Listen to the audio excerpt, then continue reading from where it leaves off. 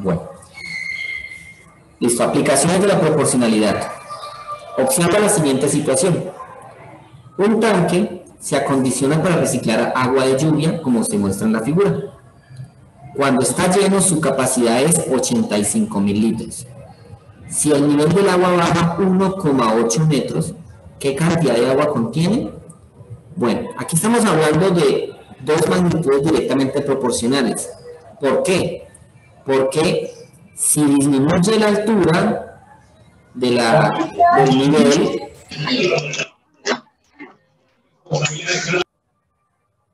si disminuye la altura del nivel del tanque, obviamente, ¿qué va a pasar con la capacidad?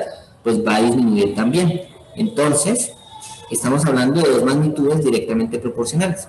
Esas dos magnitudes son nivel del agua y cantidad de agua. ¿Listo? El nivel del agua, pues es la, altura a la que llegó en el tanque y la cantidad de agua es la capacidad que tiene. ¿Listo? Entonces, como el nivel del agua bajó 1,8 metros, pues se tiene que de los 2.5 le, le, restamos 1.8, pues la altura a la que llega el agua es de 0,7 metros, ¿sí? Aproximadamente 70 centímetros. ¿Listo? Esa será la altura del tanque en la que está el agua. La pregunta es, ¿qué capacidad tiene?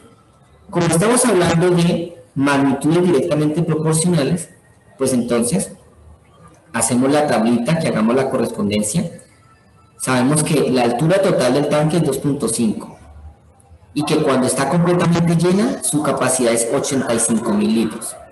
¿Listo? Ahora, la pregunta es, ¿qué capacidad tiene cuando solamente ha alcanzado los 0,7 metros?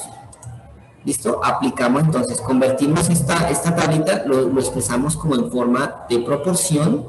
Ustedes ya saben que la proporción es recuerden, la magnitud dependiente sobre la magnitud independiente. La magnitud dependiente es la cantidad de agua y la independiente es el nivel del agua. ¿Por qué la cantidad de agua es dependiente del nivel?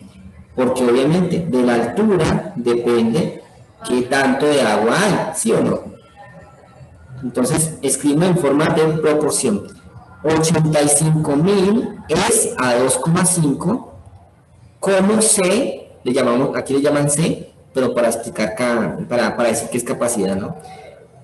¿Cómo C es a 0,7. Entonces, lo escribimos en forma de proporción, que ya sabemos nosotros. Aplicamos la propiedad fundamental, que es producto de extremos igual a producto de medios. 85 mil por 0,7 y C por 2,5. ¿Listo? Como 2,5 estaría multiplicando a la C, pues lo que está multiplicando lo pasamos a qué? A dividir. Por eso queda así. 0,7 por 85 mil dividido 2,5. Hacemos todo ese proceso y nos queda 23.800. Entonces, la, la cantidad de agua que tiene el contenedor cuando solamente ha alcanzado los 0,7 metros de altura, es de 23.800 litros. ¿Listo? Esa es una aplicación de la proporcionalidad. Y como estamos hablando de una aplicación a, las magnitudes directamente proporcionales, pues a eso se le conoce proporcionalidad directa y se aplica un proceso llamado regla de tres simple directa. ¿Listo? Entonces, a las magnitudes directamente proporcionales. Cuando desconocemos un valor, se le aplica un proceso llamado regla de tres simple directa. ¿Listo? Tengan eso por allí. A las magnitudes directamente proporcionales, cuando desconocemos un valor, se le aplica la regla de tres simple directa. ¿Listo? Ese es el proceso. ¿Qué es la regla de tres simple directa? Pues es un procedimiento que se utiliza para resolver problemas que se pueden representar mediante una proporción. Para resolver un problema aplicando la regla de tres simple directa, se realizan los siguientes pasos. Primero, se organizan los datos de acuerdo con las magnitudes. ¿Sí? O sea, ustedes leen el problema, identifican las magnitudes y escriben los valores, así como en la tablita del inicio. ¿Listo? Así como esta tablita. ¿Listo? Ese es el primer paso. Identificar las magnitudes. Luego se plantea una proporción. Miren que de aquí en la tablita organizamos la proporción. ¿Listo? Recuerden que la proporción ustedes la pueden organizar siempre con su correspondiente, ¿no? Y mi consejo es, primero va la dependiente sobre la independiente. ¿Listo? Profesor. dime. Ahí en la, lo que acabo de explicar, ¿se multiplica o se divide? Aquí, eh, ¿en qué parte?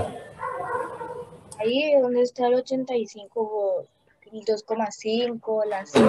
Ahí, ahí estoy, ahí estoy- ahí estoy organizando la, la proporción. O sea que ahí no, no he dividido todavía, sino que organicé la proporción. Ya luego apliqué la propiedad fundamental, que es esta de acá, producto de extremos sobre producto de medios. Y como el 2,5 que estaba multiplicando la letra C, pues lo pasamos a dividir aquí. ¿Listo? Eso fue lo que se hizo aquí, eso es lo que yo acabo de hacer aquí en la, en la guía. ¿sí? Hice, me comí un proceso, ¿listo? Por eso lo estoy explicando ahora. Como el 2,5 está multiplicando la C, pues entonces lo pasé de una vez a dividir. Eso fue lo que hice. Entonces, primero multiplico el 85.000 por 0,7 y después lo divido por 2,5. O, si te queda más fácil, pues divides 85.000 entre 2,5 y luego lo multiplicas por 0,7, como quieras.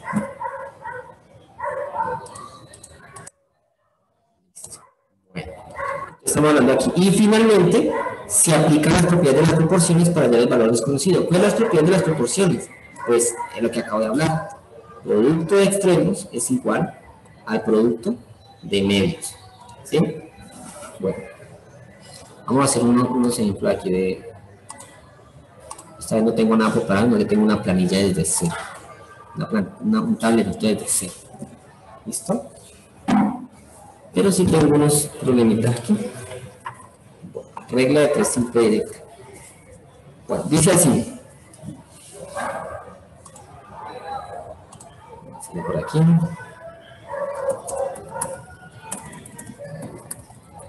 Un automóvil 110 kilómetros. Dos galones de gasolina. ¿Listo?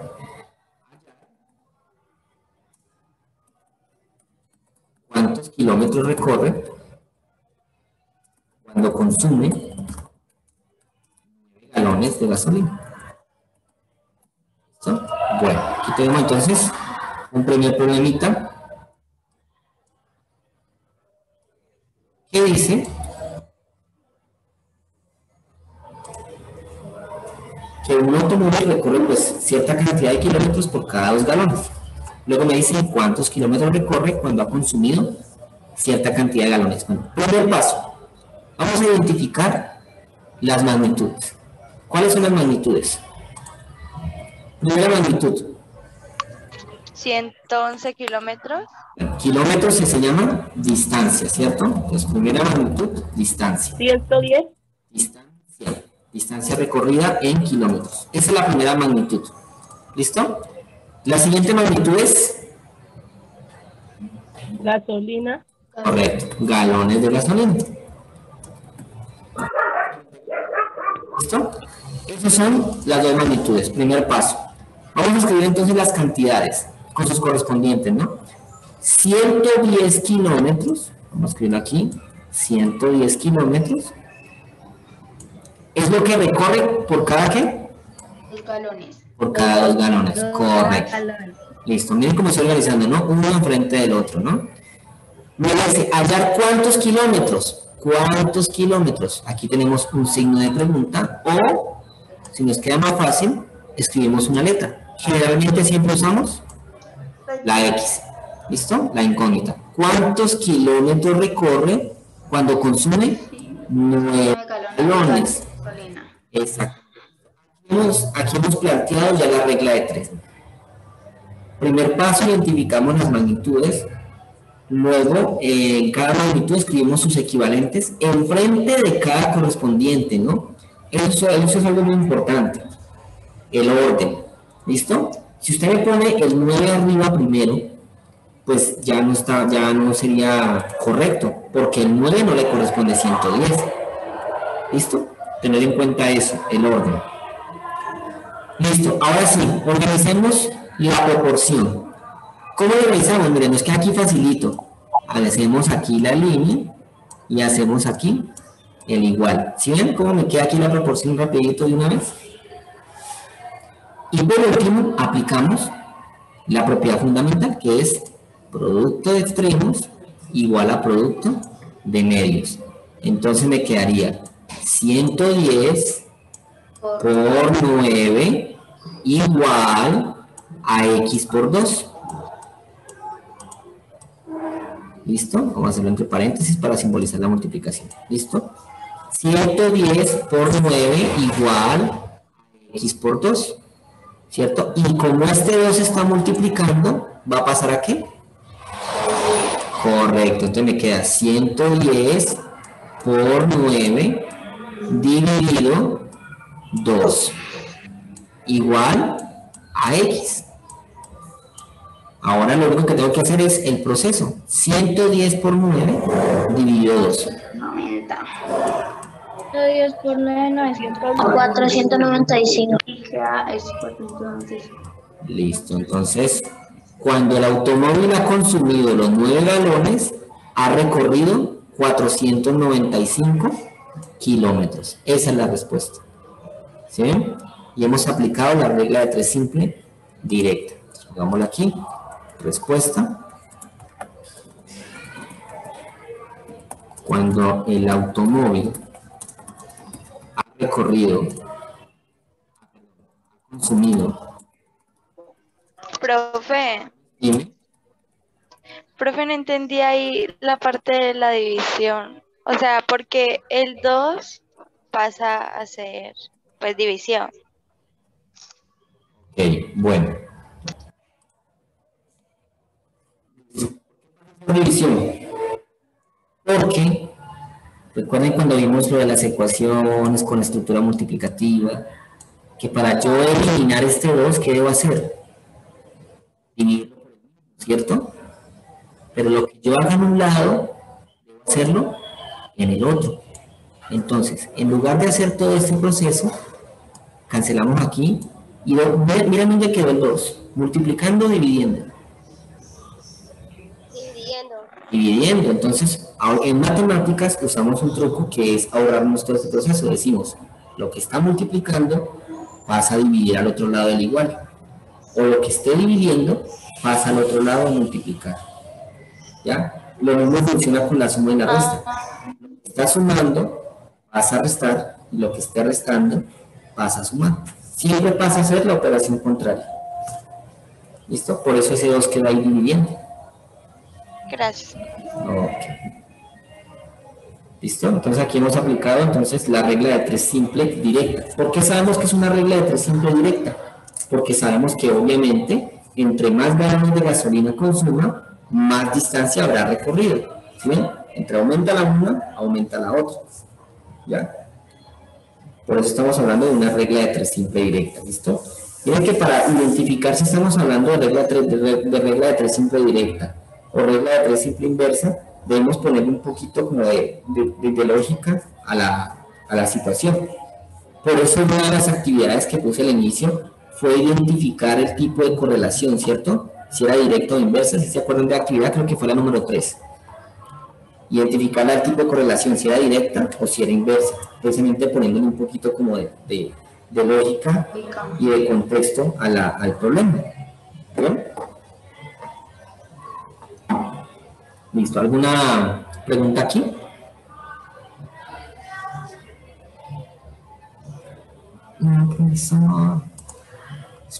Fast.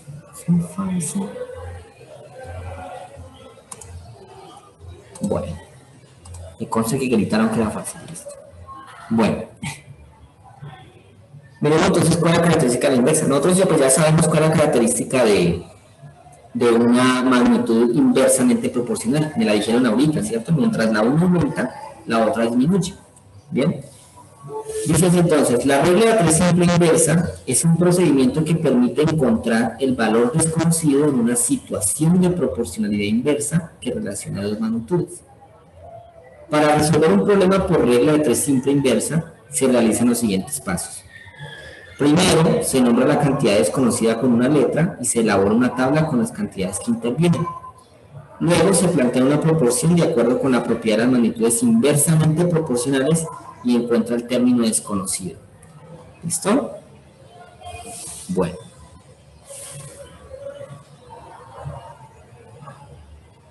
Vamos a ver entonces aquí. Bueno, los pasos son el mismo. Lo único es que hay que aplicar una propiedad de las magnitudes inversamente proporcionales, que yo recuerdo muy bien que se las expliqué en la última clase, que fue la última.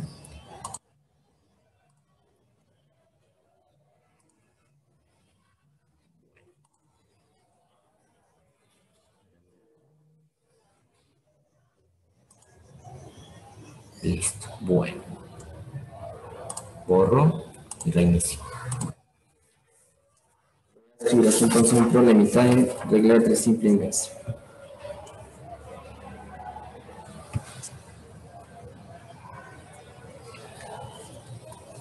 Bueno. En una familia compuesta por tres adultos,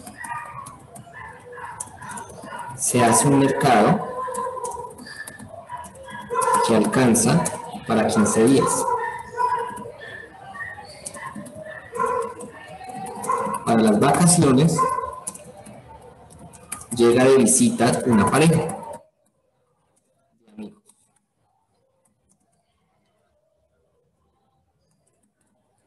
¿Para cuántos días alcanzará el mismo mercado si no cambian comidas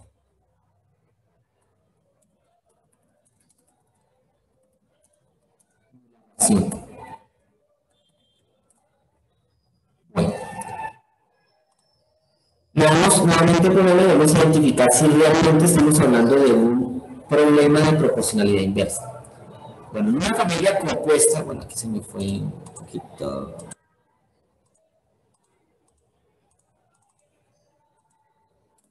Compuesta por tres adultos, se hace un mercado que alcanza para 15 días. Para las vacaciones llega de visita una pareja de amigos y la pregunta es, ¿para cuántos días alcanzará el mismo mercado si no cambian ni el número de comidas ni, ni la ración? Es decir, están diciendo que si se come tres veces al, día, se va a seguir comiendo tres veces al día. Si, si cada plato se sirve eh, lleno, siempre lleno, pues se va a seguir sirviendo siempre lleno. Es decir, no, no se va a cambiar ni la cantidad de comidas ni la ración que le sirven en cada plato a cada persona. ¿Listo? Entonces vamos a identificar primero las magnitudes. Primera magnitud.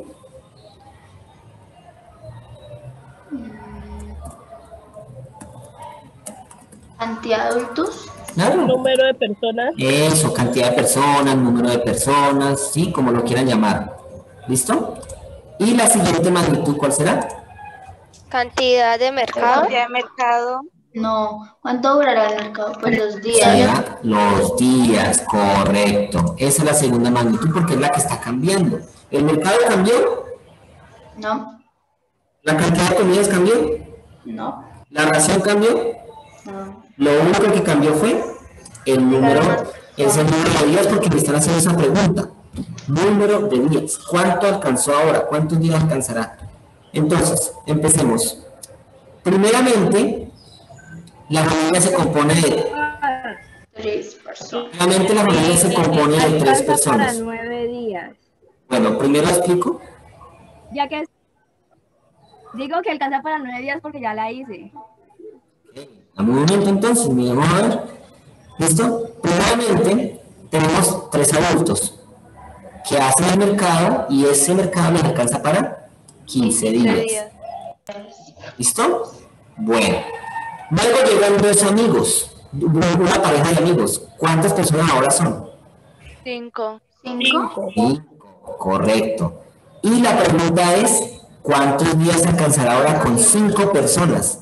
Ponemos aquí entonces nuestra incógnita que es la X. ¿Listo? Ya tenemos entonces las magnitudes, las cantidades que le corresponden a cada magnitud. Ahora, ¿qué hacemos? Formamos la proporción. ¿Listo? Pero resulta, niños, que estamos hablando de magnitudes inversamente proporcionales. ¿Sí? Porque por obvias razones, la comida ya no va, a- ya no, no va a durar más días, sino que va a durar menos, ¿cierto? Mientras la cantidad de personas aumenta, la, la cantidad de días disminuye. Entonces, como estamos hablando de una proporcionalidad inversa, recuerden que hay una propiedad que dice que la segunda proporción que le va a pasar, exactamente, Golpearlo. muy bien, se va a invertir. Entonces, 3, 3 es a 5, como 15 es a X, sino que X X es a 15. Esta es, esta es la diferencia de la regla de tres simple inversa a la directa.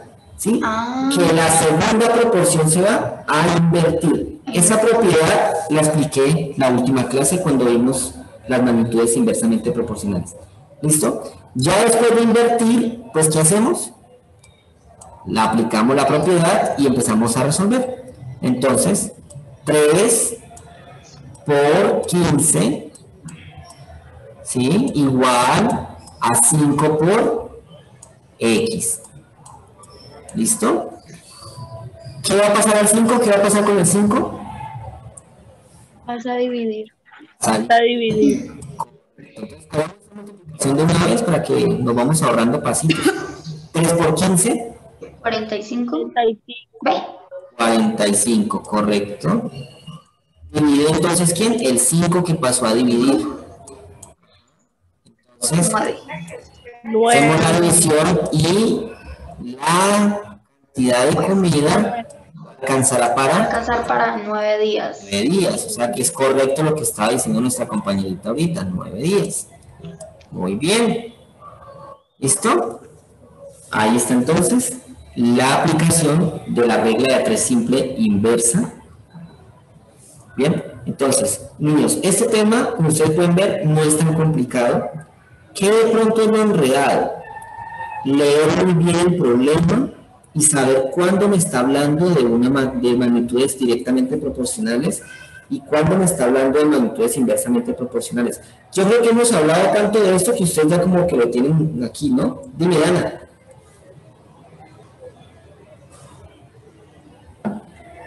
Ah, ¿se levantó? Es Ah, bueno. que es que usted ahorita en la en la cosa en el ejemplo pasado, o sea, sí lo hizo así, pero lo escribió de otra manera. ¿No me entiende? O sea, la manera que uno lo haga, no importa, queda bien. Y entonces que lo estés interpretando bien, sí, por, por lo menos para mí no, yo no tengo ningún problema. Tú puedes hacer la tablita como está en la guía, sí, escribir las magnitudes al lado izquierdo, las cantidades al lado derecho. Yo por lo menos lo, lo estoy haciendo aquí escribiendo las magnitudes arriba el nombre y debajo de ellas la cantidad. Sí, eso no tiene pierde. Lo importante es que se esté interpretando adecuadamente. ¿Listo? Ese es lo, lo- realmente importante aquí. ¿Listo? ¿Por qué que suena enredado? Porque es que si estamos hablando de magnitudes inversamente proporcionales, pues ya sabemos que tenemos que invertir la segunda proporción. Porque si no se invierte, pues ahí es donde llega el error. ¿Listo? Bueno, Señor. ok. ¿Alguna pregunta aquí?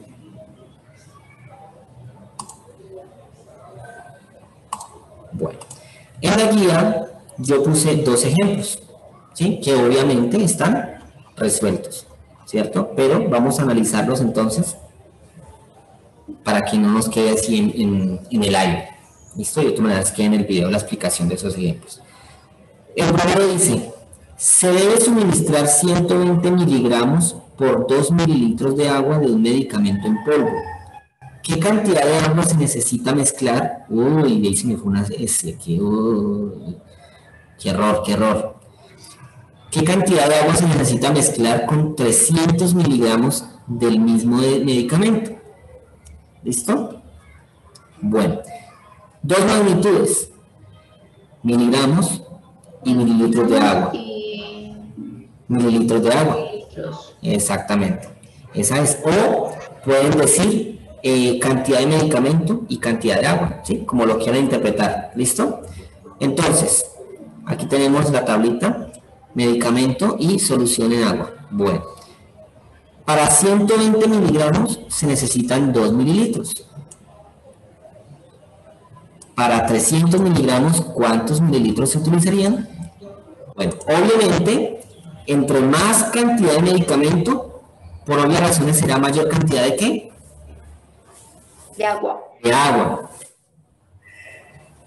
Exactamente, entonces estamos hablando de una proporcionalidad Ah, directa. Exactamente, estamos hablando de una proporcionalidad directa.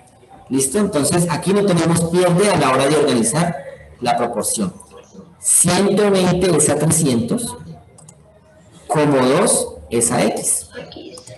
¿no? Aplicamos la proporcional, la, propiedad de las proporciones, 120 por x igual a 2 por 300. ¿Listo? Igual aquí miren que aquí está explicadito qué pasa en cada paso, ¿no? ¿Listo? Y 120 que está multiplicando, pues pasa ¿qué? A dividir. Entonces terminamos 2 por 300 dividido 120 igual a 5. 5 mililitros de agua se necesitan para los 300 miligramos 2 miligramos de medicamento. medicamento. ¿Listo? Eso es lo que es la aplicación de la proporcionalidad, de la regla de tres simple directa. ¿Listo? Miren que aquí sí lo escribí bien. Uy, muchachos, qué pena. Bueno, segundo problema. El segundo problema dice, para construir, una par- para construir un puente de 15 kilómetros se cuenta con 300 vigas que se colocarían cada 50 metros. Luego de un estudio de resistencia, se decide reforzar el puente y se utilizan 200 vigas más. ¿A qué distancia se deben colocar las vigas una después de la otra? Bueno, antes de mirar la guía, de pronto los que ya lo han visto ya saben de pronto la respuesta y saben qué van a decir, pero an- analicémoslo desde aquí, como si fuera la primera vez que lo vemos. Tenemos las dos magnitudes. La primera, Los kilómetros. Las vigas, Sí, pongamos eso. La primera son la cantidad de vigas, ¿sí? Listo. La segunda, la distancia, la distancia a la que se deben colocar las vigas. Cada viga. Exactamente. Entonces, miren, con las 300 vigas que se tenían inicialmente, la distancia que se iban a colocar una entre la otra eran 50 metros, ¿cierto? Sí. Como ahora aumentamos el número de vigas, ¿qué va a pasar con la distancia? Va a, va a disminuir. Claro, como son más vigas, la distancia será más corta. ¿Listo? Ah, Ya, ¿se lo están viendo? Bueno, chicos, eh, listo, entonces estamos diciendo que eh, las dos magnitudes serán eh, las vigas, la cantidad de vigas y la distancia a la que se van a colocar las vigas, ¿no? Entonces estamos viendo que a mayor cantidad de vigas, menor será la distancia entre ellas que se van a organizar, ¿cierto? Por lo tanto, estamos hablando de una proporcionalidad inversa. inversa. Correcto, estamos hablando de una proporcionalidad inversa. Entonces, ya, con, ya habiendo identificado las magnitudes, se escriben entonces los datos. Mira, por 300 vigas, la distancia entre ellas será 50 metros. ¿Listo? Como se aumentaron 200 vigas más, o sea, para un total de 500 vigas, 500 vigas. la pregunta ahora es, ¿cuál es la distancia a la que se van a colocar? ¿Listo? Como estamos hablando de magnitudes inversamente proporcionales, esta segunda razón, ¿qué va a pasar? Se va a invertir. Se va a invertir. Entonces, la proporción quedaría así. 300 es a 500, como D es a 50. ¿Listo? Aplicamos entonces la- eh, el producto de extremos igual a producto de medios, 300 por 50 igual a D por 500.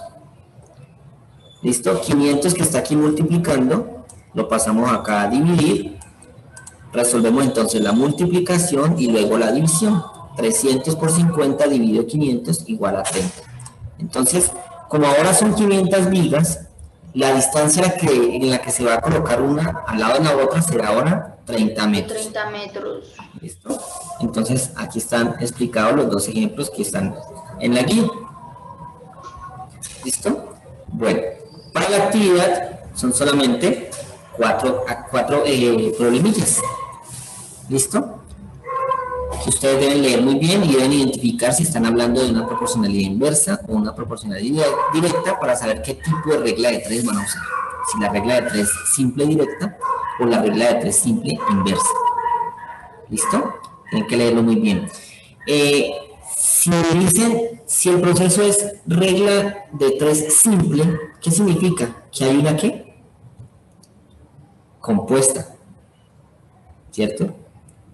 Si estamos hablando de regla de tres simple directa o regla de tres simple inversa, estamos, entonces significa que si hay una simple, obviamente va a haber una compuesta, como siempre, lo contrario. Pero eso ya lo hablamos la próxima clase. ¿Listo? Por ahora vamos a dedicarnos simplemente a esta simple. Entonces les repito, lean muy bien el ejercicio, lean muy bien el problema y a partir de ella, después de que identifiquen si es directa o inversa, ya saben cómo utilizar la regla de tres. ¿Listo? Si es directa, normalita. Si es inversa, invierten la segunda razón y ahí está. ¿Listo?